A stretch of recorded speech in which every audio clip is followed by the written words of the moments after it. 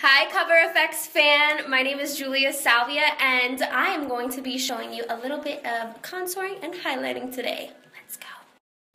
Before we jump into anything at all, I'm going to leave my social handles in the next snap, so get ready to screenshot it.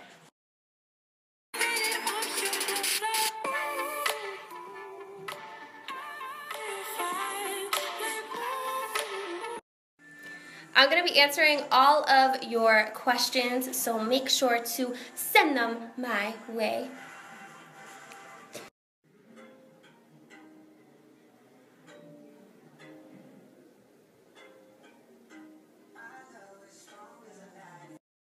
So this is the Natural Finish Foundation. The color that I wear in almost all of Cover FX products is G40.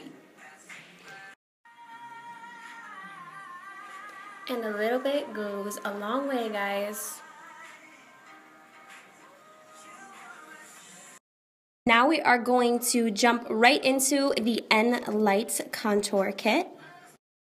So I use these three guys right here. This is N0, Moonlight, and N60.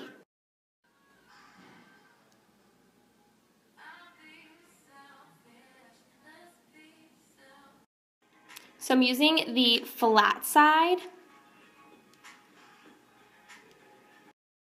And I'm jumping right here. If you guys don't know where your contour line is, go like this. so all I'm doing is pushing the contour color up. And then I'm bringing it on the side.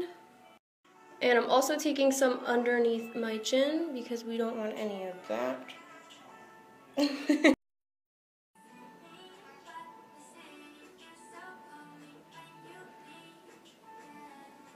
so this brush is great to buff in foundation, but I really, really like it to buff in the contour.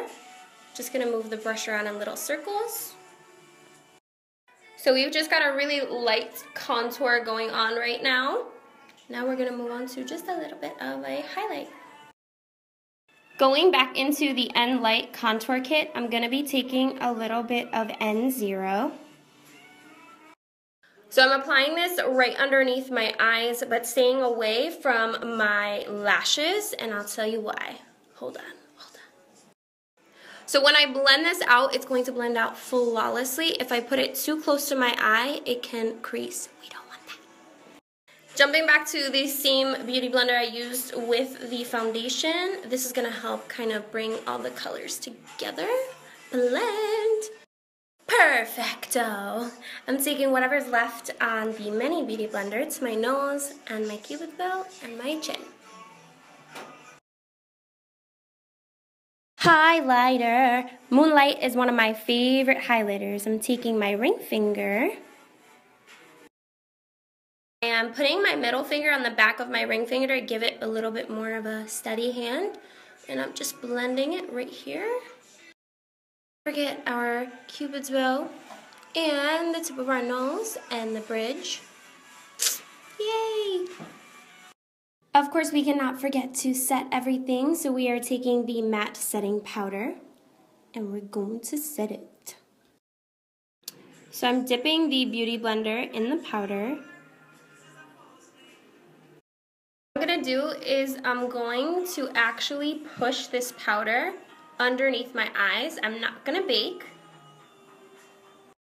I do get a bit oily in my T-zone, so I'm just going to take a little bit of that up here, bring it down, and right here. So if we want our contour to be nice and chiseled, I'm taking a little bit of powder and I'm just cutting it.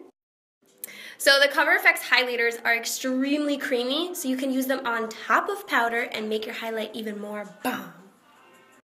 So I'm taking some more of Moonlight and I'm just dabbing it right on top. So we got a nice little glow. Oh, that's not little. That's a nice big glow. So I'm taking the other side of the contour brush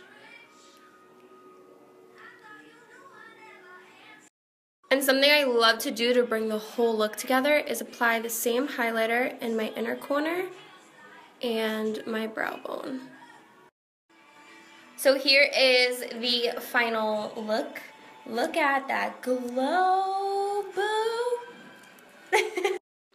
Thanks guys for joining me on this really quick Snapchat takeover. I hope you learned a little bit more about highlighting and contouring with Cover FX. If you guys tuned into this Snapchat takeover, go comment on Cover FX's last picture on Instagram. Give me some flowers. And don't forget to come say hi to me on my Snapchat. I'll see you guys next time.